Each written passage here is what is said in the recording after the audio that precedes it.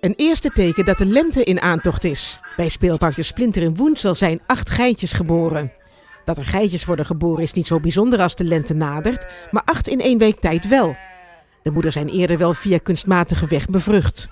De Splinter verwacht dat binnenkort ook de schapen in het park gaan bevallen.